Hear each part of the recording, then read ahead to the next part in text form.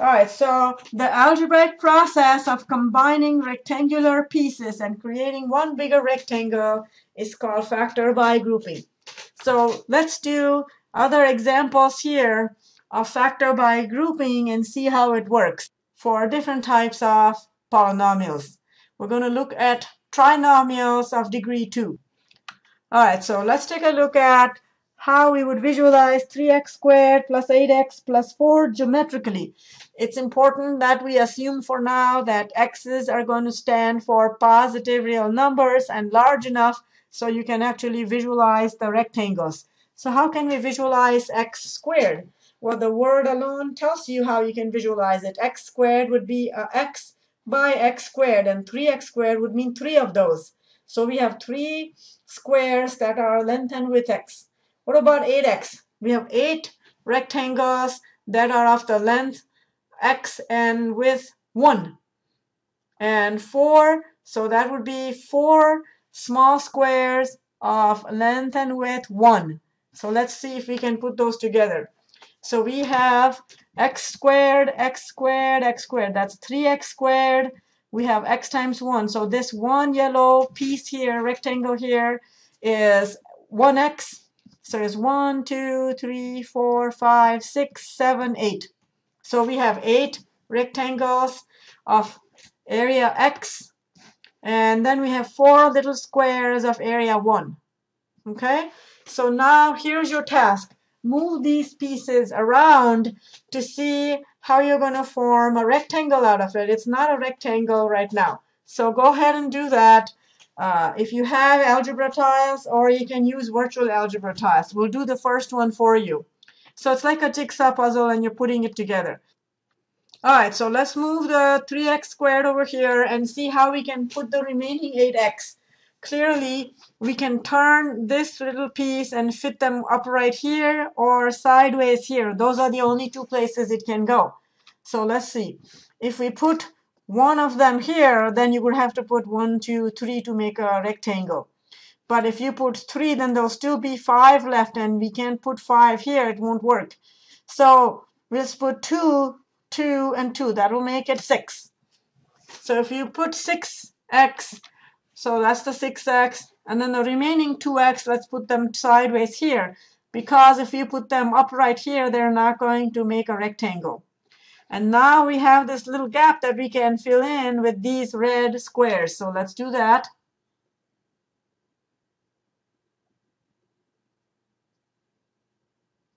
All right, so now we have a perfect rectangle. So we have 3x squared plus 6x, which is these six strips right there, plus the 2x, which is right there, and the 4, which is right here. So those are all the pieces that we've rearranged. So look at how it looked before and look at how it looks now. So we have taken these pieces, moved them around, so now it's a perfect rectangle. And then see how we can rewrite it. So we have 3x from here to here and x plus 2 from here to here. Why? Because this is x, 1, 2. So this is x plus 2. This is x plus x plus x, 3x. So this right here, these three greens and these six yellow will make uh, rectangle together of the length 3x times x plus 2. Let's look at this bottom, the two yellows and the red. From here to here, it's 2. From here to here, it's x. From here to here is 2. So again, it's going to be x plus 2, right? Which is what this width is here, times 2. So 2 times x plus 2. All right, now you can see that if you look at this big rectangle, then it's 3x plus 2 times x plus 2, which is this right here. So if you take algebraic tiles, that's what these tiles are called, algebraic tiles. All right, you want to hear a funny story? When I first started doing these problems to help my students, and using geometry to help understand algebra, I thought I was inventing something really cool. However, it turns out that algebra tiles have existed for a long time. I did not invent anything new, although I thought I was inventing something new. Other people have used these methods to do factoring for a long time.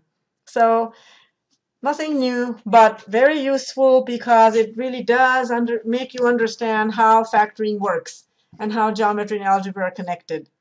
All right, so now let's see. What if we didn't have algebra tests? Can we do this same process, you know, algebraically? The answer is yes. So you don't have to keep drawing these algebra tests, but it's good to use it in the beginning.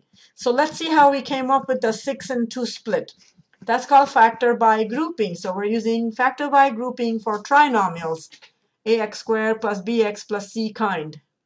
So we're using factor by grouping for quadratic um, polynomials here. So let's take a look. We take a look at 3x squared plus 8x plus 4. And my recommendation is that first factor out any uh, greatest common factor they all share. Once you've pulled that out, then look at the remaining terms. Take the highest degree term and the lowest degree term and multiply them together. Multiplying them together will give you 12x squared. Now think of two numbers that multiply to give you 12x squared, but add to give you 8x. So clearly, the both terms must have an x in it. And so really just think of two numbers that multiply to give you 12, but add to give you 8. And so you can see how 6 times 2 is 12. So 6x plus 2x add up to 8x, but multiply to give you 12x squared. And that's how you can split the 8x. So the term 8x can be split as 6x plus 2x, and then first two terms, last two terms, 3x squared plus 6x. You can see 3x is their greatest common factor, so you can rewrite this as 3x times x plus 2. Between 2x plus 4, you can pull out a plus 2, and again write times x plus 2. And now 3x plus 2 times x plus 2 is how you would add that. Or you can think of it as x plus 2 is their greatest common factor that you're pulling out. All right, so this is how the algebraic factor by grouping method works.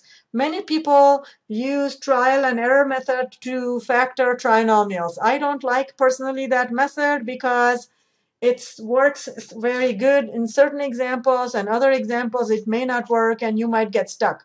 This is a sure way of factoring. In fact, you know, most of my education took place in India, and I never heard of factor by trial and error until I came to United States. So it's important that you learn this method even if you are good at factor by trial and error in case you ever get stuck because this is a sure mathematical way of getting factors if you are stuck. All right, so enough of that. Let's take a look at what virtual algebra tiles look like to do the following problem. 2x squared plus 7x plus 6. So I'm going to ask you copy this website, pause the video, and go to a website right now to do this example on your own. So I'm going to click on that website so you can see how to run it.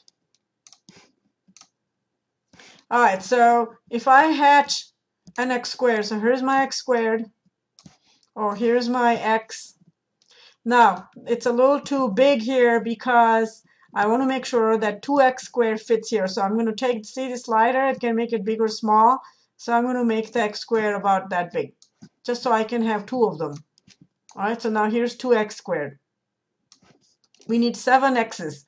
So here's one of them, which I, if you want to turn it, you just have to go to the side here so it turns it. So here's 7x. So let's get 7x. 2, 3, 4, 5, 6, 7. Okay, so 1, 2, 3, 4, 5, oops, 6, and 7. So you have 7 x's. So how do you think we should fit it? Oh, what else do we have? Uh, plus 6. So we need 1, 2, 3, 4, 5, 6. Okay, we have to uh, arrange these so that they form a rectangle. Here's the clue. Once you have a rectangle out of the x squares, then you know these have to go in the corner here. So you have choices. You can go 3 this way and 2 sideways, or you can go 2 and 3 this way. Any choice you have. So let's try, what if I go this way?